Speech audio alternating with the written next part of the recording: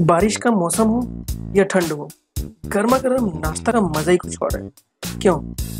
उसी को ध्यान में रखते हुए मैंने गार्लिक पास्ता बनाया है, जो कि आपको बहुत ही पसंद आने वाली है और इस तरह की रेसिपी आप बहुत ही आसानी से बना सकते हैं। और इसमें जो गार्लिक का फ्लेवर आएगा, आपको गर्मा गर्म खाइए इसे, बहुत ही मज़ा आने वाला है, सेहत के लिए भी अच्छा होगा। हेलो दोस्तों, मेरे चैनल स्वाद और सेहत में आपका बहुत बहुत स्वागत है। फिर से मैं लेकर आया हूँ आपके लिए एक नई रेसिपी मज़ेदार रेसिपी तो फटाफट से मेरे चैनल को सब्सक्राइब करिए और चलिए आगे बढ़ते हैं, देखते हैं किस तरह से मैंने गार्लिक पास्ता को बनाया है। तो गार्लिक पास्ता बनाने के लिए सबसे पहले हमें चाहिए बेसिक इंग्रेडिएंट पास्ता यहाँ पर मैंने लगभग दो छोटे बाउल पास्ता को लिया है। यहाँ पर दो वैरायटी के पास्ता है मेरे पास, जो कि दो आदमी के लिए सफिशिएंट होगा। छोटी सी कढ़ाई में मैंने क्या किया है, थोड़ा सा पानी ले लिया है सफिशिएंट पानी, जिससे कि हमारा सारा पास्ता उबल जाए। और उसे क्या करना है, थोड़ा सा बॉईल कर लें, आप गैस पर इसे चढ़ाकर। थोड़ा सा ज़्यादा हीट कर लें, ताकि ये तेज़ी से गर्म हो। तो चलिए, हमारा जो पानी जो है, वो उबलना चालू। और हम क्या करेंगे इसमें? फटाफट से अपने पास्ता को डाल देंगे। और यहाँ पर हम क्या करने वाले हैं? हमारा जो पास्ता है, वो एक दूसरे से चिपके ना, इसके लिए हम यहाँ पर उबलते पानी में दो तीन बूंद तेल डालेंगे या आप घी भी डाल सकते हैं और इसे 10 मिनट के लिए उबलने देंगे मीडियम फ्लेम पर। चलिए, ग्रेवी बनाने के लिए हमने यहाँ पर दो टमाटर लिया है। थोड़ा सा स्पाइसी बनाने के लिए हरी मिर्च आप अपने हिसाब से ले सकते हैं क्वांटिटी और हाँ जी, ये तो मेन है। इस रेसिपी का बादशाह है लहसुन तो इतनी सारी लहसुन काफ़ी है हमारे लिए। अब इसे हम क्या करेंगे? एक ग्राइंडर में अच्छे से ग्राइंड कर लेंगे।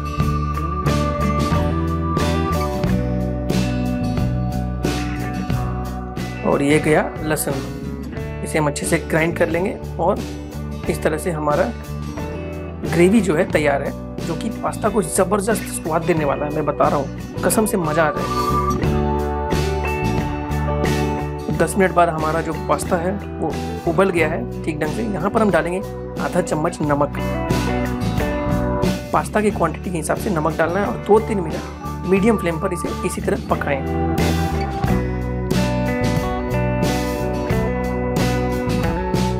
तो दो तीन मिनट पकाने के बाद ये पास्ता हमारा ब्यूटीफुली रेडी है। अच्छे से पक चुका है, इसे हम क्या करेंगे? इसका जो पानी है, उसे हम निकाल लेंगे। क्योंकि तो जो भी एक्सेस स्टार्च है उबलने के बाद पानी में मिक्स हो गया है और इसे निकालना ज़रूरी है। गर्मा गर्म पास्ता निकल चुका है। अब हम थोड़ा सा इसमें ठंडा पानी डालकर मतलब नॉर्मल पानी डालकर, इसे अच्छे से धो लेंगे ताकि जो एक्सेस स्टार्च है, जो भी मटेरियल है, इसके सरफेस पर लगा है वो निकल जाए।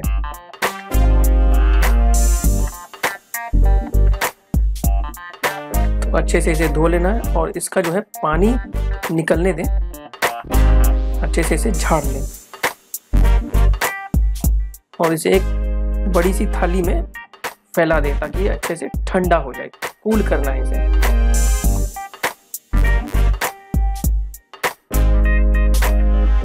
तो चलिए नेक्स्ट स्टेप की तरफ़ बढ़ते हैं। तो यहाँ पर हम देख लेते हैं मैंने कौन कौन सी सब्ज़ी ली है। पास्ता में डालना है। यहाँ पर मैंने लिया है एक शिमला मिर्च। तो उसे आप अपने तरीके से कट कर सकते हैं, आप लंबा कट कर सकते हैं स्क्वायर शेप कर सकते हैं छोटा छोटा कट कर सकते हैं। यहाँ पर मैंने डायगनली कट किया इसे। तो एक शिमला मिर्च काफ़ी है इतने सारे पास्ता के लिए। और ये कट कर तैयार है। अब हमने यहाँ पर क्या लेना है? एक बड़ा गाजर मैंने लिया है।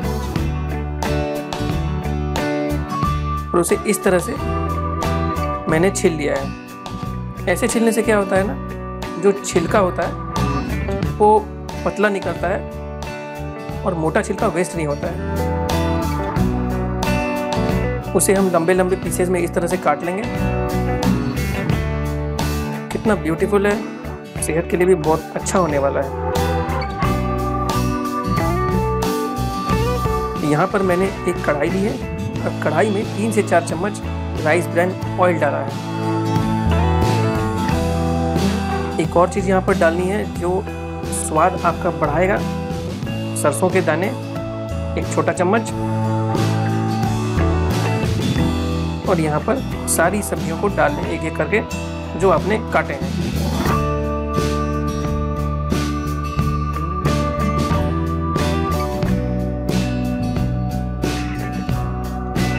दो से तीन मिनट इस तरह से भुने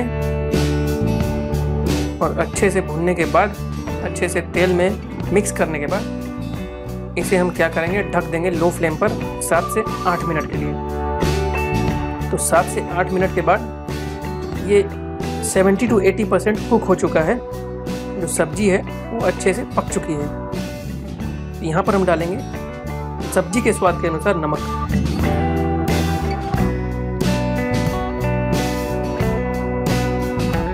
इसे थोड़ा सा मिला लेंगे और दो तीन मिनट तक इसे अच्छे से भूनेंगे। अब हमने यहाँ पर क्या किया है?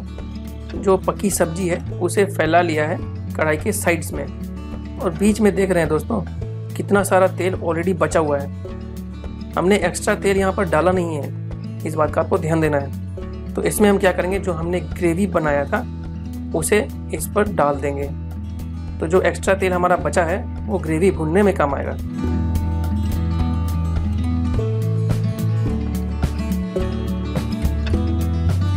तो इस तरह से ग्रेवी को भुनने देंगे और हल्का सा उबाल आने पर हम यहाँ पर डालने वाले हैं ग्रेवी के स्वाद के अनुसार नमक। थोड़ा सा इसे मिक्स कर लेंगे। सब्ज़ी इसमें घुल जाए, कोई दिक्कत नहीं है। और इसे अच्छे से आप भून लीजिए, जब तक कि ये पूरी तरह से सूख ना जाए इस तरह से। तो देखिए मसाला जो है, हमारा जो ग्रेवी और सब्ज़ी का जो कॉम्बिनेशन है, बहुत ही बढ़िया आप देख सकते हैं। तेल भी अलग से हमें दिखाई दे रहा है। यहाँ पर हम डालेंगे पानी। एक बाउल यहाँ पर आप पानी डाल लें, क्योंकि ग्रेवी जो है हमारा अच्छे से भुन चुका है। और अब हम क्या करने वाले हैं, इसमें पानी डालकर ग्रेवी को हल्का सा पतला कर रहे हैं। ताकि जो पास्ता का हर एक दाना है, उसमें ये लिपट जाए और फिर तो कमाल हो जाएगा।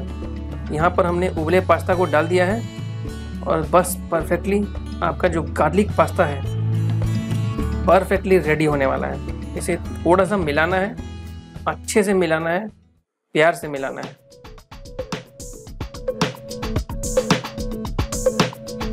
तो चलिए अभी हम इसे प्लेट में निकाल लेते हैं और गर्मा गर्म गार्लिक पास्ता रेडी है। इसे आप बारिश में खाइए, ठंडे में खाइए, नाश्ते में बनाइए।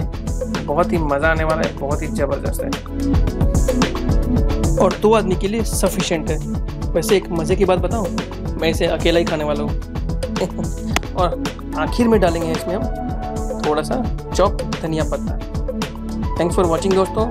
इसी तरह स्वाद का लुफ्त उठाइए, सेहतमंद रहिए। धन्यवाद।